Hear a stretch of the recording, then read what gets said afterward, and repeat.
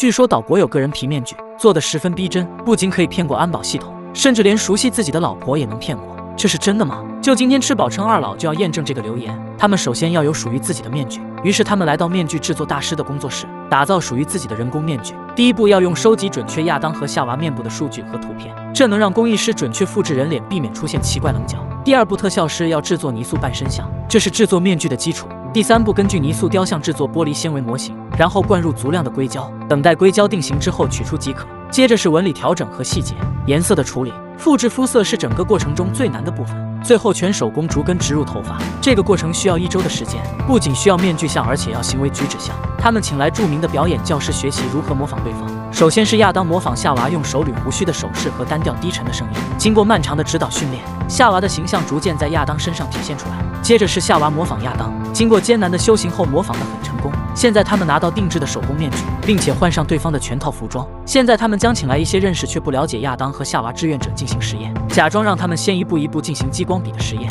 最后来到由夏娃假扮的亚当身边观察他们的反应。一号对象按照指示进行测验，经过了解，他在一开始就觉得夏娃假扮的亚当不对劲。二号对象进行测验后也发现了不对劲。三号对象同样发现了亚当的端倪，并指出是声音的问题。现在轮到亚当假扮夏娃了。三名志愿者如约进行了激光笔测试，但是他们还是通过声音的不同察觉到了亚当假扮夏娃的真相。现在他们要做第三次无声实验，这能排除声音的因素。冒牌夏娃站在靶子附近，继续假装在记录数据。第一个志愿者相当注意靶子。直到他正对冒牌夏娃的时候，他才感受到了不一样。其他的志愿者们也是在面对面时才察觉到其中的端倪。现在轮到夏娃假扮亚当了，这些志愿者们也是在测试过程没有发现异常。现在亚当和夏娃想要加大实验的难度，他们决定将这场测试放置在熟悉他们的人之中。他们邀请格兰和凯莉在不同距离进行找茬游戏。在二十七米处，他并没有发现冒牌夏娃的不同；在二十一米，他成功找到冒牌夏娃的不同之处，也感到冒牌夏娃的异常。直到最近距离时，凯莉觉得冒牌夏娃是一个蜡像。这次轮到格兰进行同样的测验，